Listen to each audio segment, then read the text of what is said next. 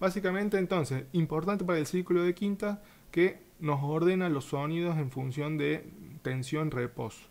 Lo que le comentaba. Por ejemplo, el La tiende a resolver en el Re y el Re tiende a resolver en el Sol y el Sol tiende a resolver en el Do y así sucesivamente.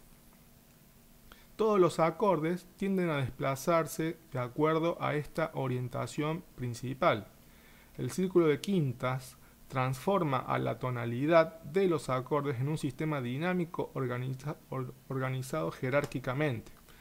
Los siete acordes que componen el ciclo tonal, ya diferenciados por sí, eh, por su cualidad, se diferencian ahora también por sus características dinámicas, o sea, su función, al operar sobre ellos este principio.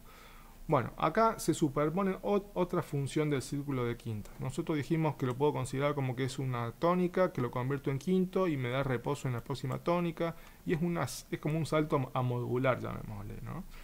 Pero bueno, ahora me habla de tonalidad. Ahora me habla de tonalidad. Entonces, cerramos este capítulo, vamos a hablar de tonalidad. Si yo estoy en tonalidad de Do, fíjense que yo tengo dentro de la tonalidad de Do, lo voy a marcar acá, yo tengo el Do, vamos a, ya sabemos que se arma un acorde mayor en el primer grado, eh, tenemos también el Re, tenemos el Mi, tenemos el Fa, tenemos el Sol. Y tenemos el La. Serían mis siete acordes que se forman en el... Ah, y el Si, obviamente. Acá tengo mis siete acordes que se forman en el ciclo tonal. Y mi tónica está acá. Fíjense que yo sé que el Sol tiende al Do, que el Sol 7 tiende al, al primero. Pero a la vez el Re, que es en la tonalidad de Do, sería un Re menor, también tiene fuerza para resolver en el, en el Sol. O sea que acá tengo una no es tan fuerte como el quinto primero, pero tengo que el segundo resuelve en el quinto y el quinto resuelve en el primero. ¿sí? Eso significa que el re, que es el segundo, menor, tiende al quinto y el quinto tiende al primero. Pero a la vez, si yo quiero extender un poco más, puedo decir, bueno, el, el re a su vez tiene un la que tiende a ir al re.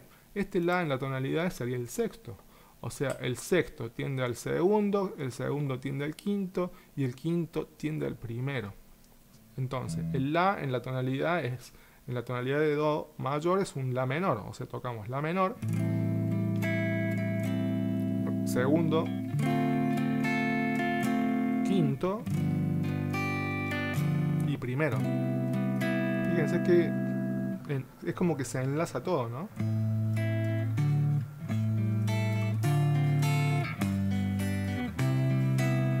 Quiero puedo seguir extendiendo, porque la nota mi también está en la tonalidad, es mi tercero. El tercero es un acorde menor, entonces yo puedo enlazar el tercero, que enlaza con el sexto, que enlaza con el segundo, que enlaza con el quinto, que enlaza con el primero. Y si quiero ir más lejos todavía, el si también está en la tonalidad de do. Entonces puedo extender ese mismo concepto. El si es un acorde disminuido o semidisminuido. Semidisminuido. Vamos a hacer el si semidisminuido que tiende al mi, que tiende al la, que tiende al re, que tiende al sol y que tiende al do. De vuelta. También de bajita la viola, ¿no? Vamos a vuelta.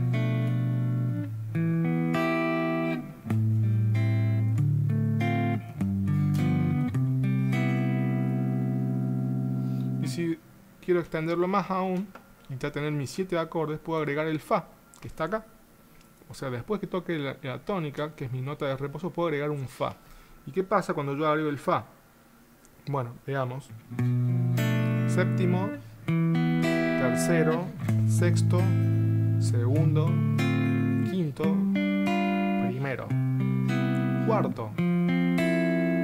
Puedo volver al séptimo puedo volver al tercero y volver al sexto.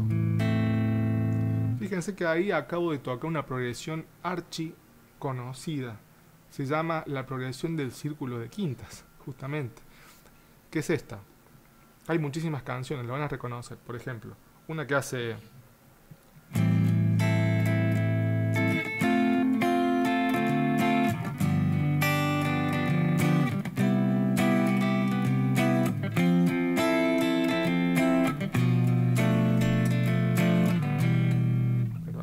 una pequeña excepción. En realidad esta canción está en tonalidad de La menor, que es la relativa menor, pero se dan cuenta que ese movimiento es súper conocido. Hay, por ejemplo, la canción Al, Will Survive, la tiene, es una progresión de círculo de quinta. La canción Europa de Santana la tiene. Eh, la, la, canción Still Got the Blues de Gary Moore también la tiene. O sea, hay muchísimos éxitos que están armados con esto, que es una herramienta eh, psicológica, ¿no? Es como que uno espera que suene ese acorde. Es muy fuerte la, la, tendencia del círculo de quintas eh, sobre, la, sobre, la, sobre el oído. ¿eh? Se, ha, se ha hecho algo muy natural y muy esperable y predecible. Entonces es una herramienta para organizar los siete grados de la tonalidad y componer.